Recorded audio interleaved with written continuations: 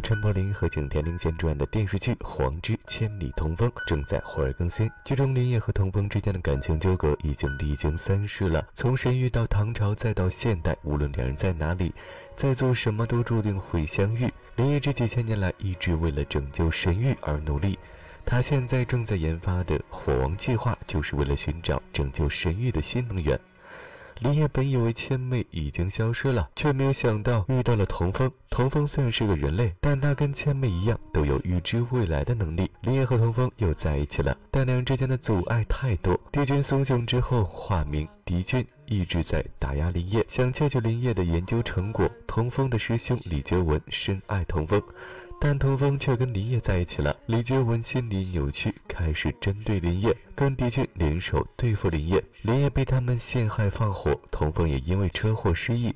童风的师兄李觉文将童风带走，林烨到处找不到童风。李觉文将童风带到一个谁都不认识他们的地方，告诉童风自己是他的未婚夫。童风信以为真。就在童风试婚纱，准备和李觉文结婚的时候，林烨发现了童风的踪迹。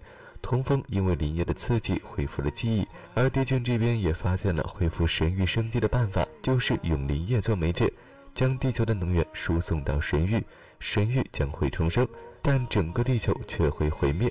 林烨不想用地球的毁灭来换神域，他和帝俊大战了一场，却谁不能说服谁。林业知道敌军是一心想救上仙，他向敌军保证，他一定会找到办法让神域重生。其实林业已经发现，用自己的火神之血可以拯救神域，但这么做的代价就是火神将彻底消失在宇宙中。在这之前，他要跟童风告别。童风从梦中看到了林业的选择，他执意要跟林业成亲，因为这也是他的选择。林业和童风成亲两个月后，神秘消失了。童风知道林业失去了神域，他发现自己已经怀孕。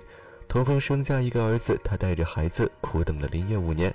林业终于重生归来，看到童风母子后，林业痛哭，他一定要好好补偿童风母子。